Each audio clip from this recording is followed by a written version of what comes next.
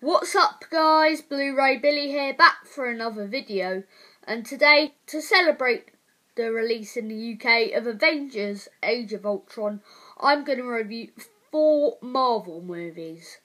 Now one of them I don't own but three of them I do. So I'm going to start with one of the latest ones, well the second, um, the one that the last one which came out last year basically, and it's Guardians of the Galaxy.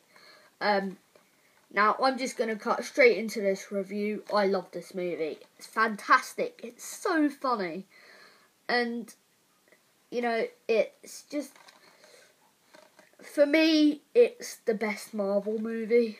Um, I'm sure Avengers Age of Ultron may beat it. Um, I am aware of that.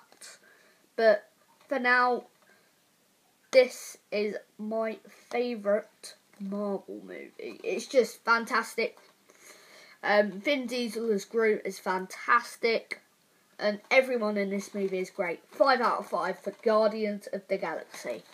So, the next one is um, also an amazing Marvel movie. It is Thor. I love this Marvel movie. It's like I don't know, the first one I ever saw, and it did not disappoint. It's just such an amazing movie, you know, the action, to the drama, to the comedy. The comedy in this is great. Um, four, great movie. Also five out of five. Now onto another slight, now onto a slightly negative um, movie. Um, now, this movie, it was very disappointing. I'm going to cut straight into it. It's Captain America, the Winter Soldier.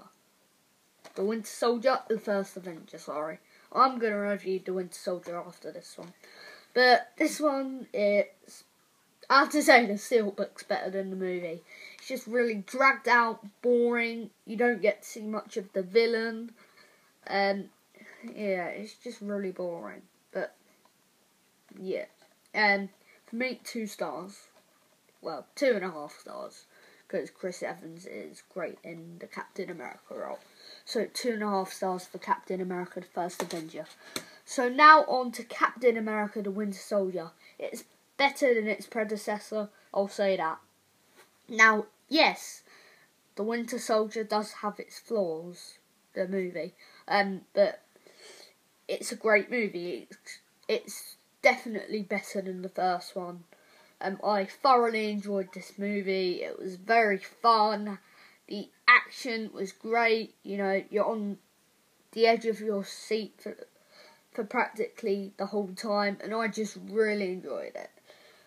Um, so Captain America: The Winter Soldier gets obviously a higher rating than its predecessor. I'm going to give Captain America: The Winter Soldier four and a half stars out of five.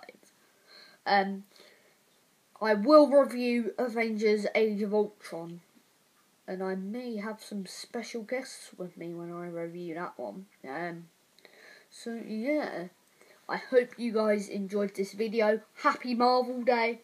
Um, yeah, and if you guys are seeing Avengers Age of Ultron, I really do hope you enjoy it. Um, because it has got amazing reviews.